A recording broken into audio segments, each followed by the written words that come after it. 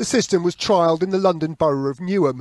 Worshippers at the Shah Jalal Mosque have used the app to register their details as they go in. They can scan the QR code and then we go in one system. But do they have faith in the technology?